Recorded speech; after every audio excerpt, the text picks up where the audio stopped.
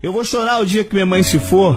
Me falaram que o pior dia da vida é o dia que a mãe tá gelada na sua frente no caixão e um cara chega até você e fala assim: Ô, oh, cinco minutos para despedir da sua mãe que eu preciso levar ela embora. O que, que você vai falar com sua mãe em cinco minutos?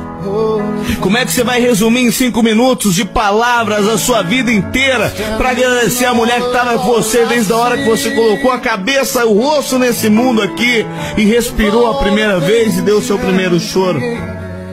Cinco minutos. O que, que, você vai falar para sua mãe? Mamãe, obrigado. Obrigado por ter me dado a vida. Obrigado por ter me transformado nessa pessoa que eu sou hoje. Obrigado, mamãe, porque quando eu tava com frio você me cobria, quando eu tava doente você me curava. Obrigado, mamãe, por ter me dado tudo, mesmo quando não podia, eu insistia, eu chorava e a senhora fazia das tripas corações para me dar o que eu queria. Obrigado, mamãe, porque quando eu caía, eu, eu machucava, eu arranhava, a senhora me curava, a senhora enxugava as minhas lágrimas. Obrigado, mamãe, por ter me dado estudo. Obrigado, mamãe, por ter me dado tudo. Por ter me transformado nessa pessoa honesta, trabalhadora, estudiosa que eu sou.